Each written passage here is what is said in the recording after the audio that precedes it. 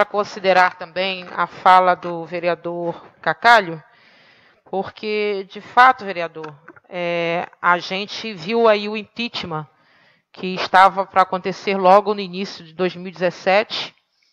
Naquele momento eu era vereadora de situação e os vereadores que compunham o grupo dos cinco vereadores acabaram não votando. Então, acho que aquele, aquele seria o momento, já que tinham uma oposição de cinco vereadores e que não chegou ao consenso.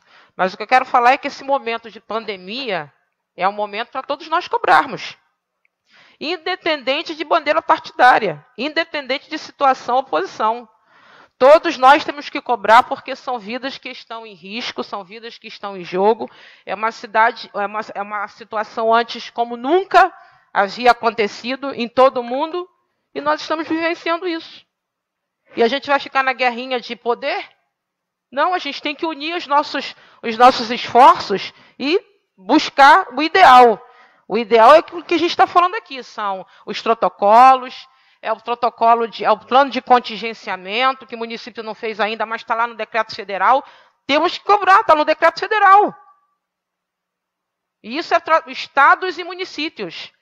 Então, no mais, a gente tem que falar sobre isso sim, independente de situação ou posição, mas pensando todos como um só.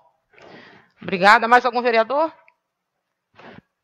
Então, não havendo mais nada a tratar, esta presidência encerra a sessão. Está encerrada em nome de Deus.